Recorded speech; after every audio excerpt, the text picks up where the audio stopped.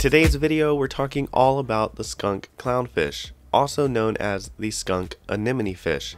These little guys may not be as popular as some of the other clownfish species out there, but they're just as cool and interesting. These fish are easily recognizable because of their pinkish orange body with one white stripe that you see along the back of the clownfish. This stripe is the reason they got their name. Now they can grow up to 4 inches in length and can be a great clownfish especially if you are looking for a clownfish that will host a bubble tip anemone. While most clownfish are relatively peaceful, the skunk clownfish can be semi-aggressive. For the most part, skunk clowns are very good clowns to have in a community tank. So if you're keeping cardinal fish or tangs, something like that, they can be model citizens. Now for me, I've noticed in my aquarium that they will pick at other clownfish, so make sure you have a larger aquarium if you want to try multiple different types of clowns in your tank. The skunk clownfish is not as aggressive, however, as the maroon clownfish.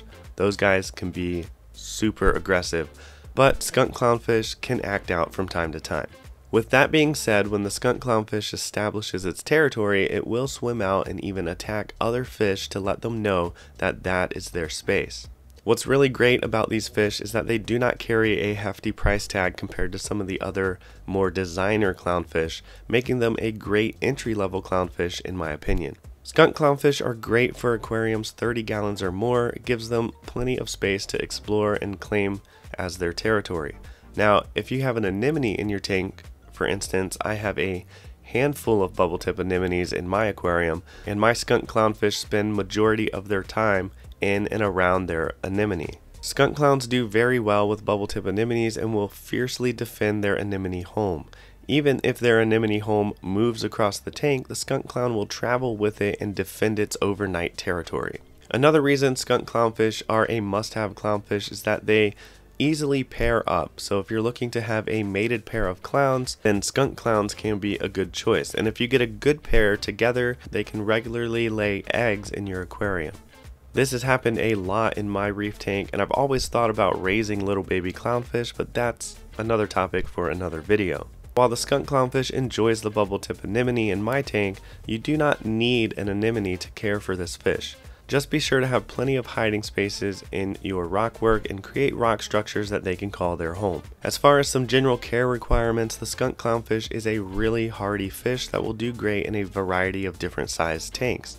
They are omnivores, which means they do well with a variety of fish food and need a varied, healthy diet, which should include foods like frozen or live brine shrimp, mysis shrimp, as well as flake food. Mixing up the diet and providing a variety of food is definitely a good one for this fish. In my reef tank, I'm feeding frozen mysis shrimp, flake food, and fish food from Reef Nutrition, so I kind of keep that mixed up a little bit, and my clownfish love it.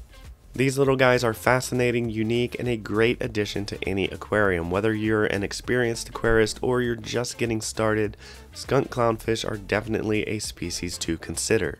And if you want to check out another fascinating, unique fish, check out the Midas blenny in this video right here. Thank you so much for watching, liking, and subscribing, and I'll see you in the next one.